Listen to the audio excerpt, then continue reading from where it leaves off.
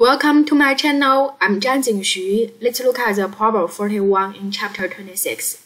Chapter 26 is about DC circuits. There we have these uh, circuits. Looks very complicated, but we can do it together. Let's see. First one, we need to determine the net resistance between point A and C. You can see if we connect A and C in a circuit, all the resistors will involved, right? So if we connect A and C with a battery, EMF is epsilon. So all the resistors will include. And then we can solve it by using Kirchhoff's loops. First one, we look at the bottom loop. This is, is a epsilon. This battery goes this way, increase the voltages, right? And then goes through the resistor, goes through the resistor R. The voltage decreases I3 times R and then equal to 0. Come back to the origin point, this one. Agree? Then we look at ADB, ADB. So this way, right? First one, the current goes through this R, voltage decreases, so minus I1R, and then minus I5R, and then plus I2R, because this current is in opposite direction with this loop. So this one, we get it. Then we look at the loop A, B, C this way, right? So we can see the current goes through the resistor R, voltage decreases, goes through this R, voltage decreases, and then goes through this R, increases because the current I3 and the loop in opposite direction. So we can write it there. Then we look at D, B, C. D, B, C, that means this loop, right? So we can see initially the current goes through resistor R, voltage decreases, goes through this R, decreases, and goes through the I4. You can see this I4 is opposite direction with the loop, decreases. So plus I4 times the R plus equal to 0, right? Then we can look at the point A, and then we can see the current in is conserved. So the I equal to I1 plus I2 plus I3.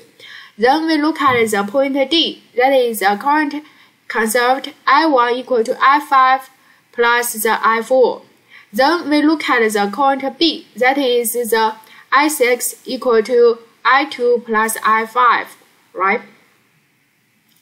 Then you can see we can solve these uh, equations, these multiple equations together as we can see, I3 equal to epsilon divided by R, right? So we input I3 inside. We can see it looks like this way, right? So we use this uh, equation to replace the I3, and so this one changes.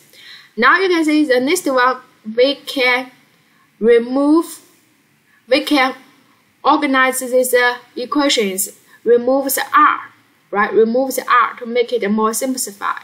So this way. It looks like this way, right?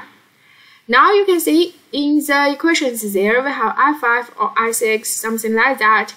One thing is we can remove the I6, right? So we remove I6 as I2 plus I5. I2 plus I5, we put it in, remove it. And then we can organize it to make it more simple. So this is become 2 times I2 plus I5, right? Agree?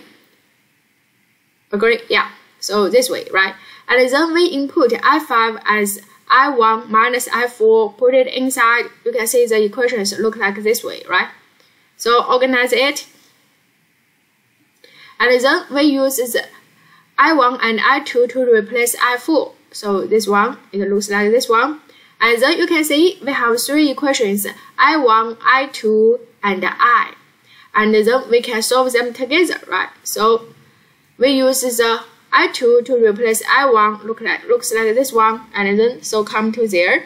In this equation you can see uh, the variables is just I2 so we can solve it get I2 equal to this function and then in this uh, function I it is a function of I2 right so after we simplified, we find I equal to 4 times I2, right?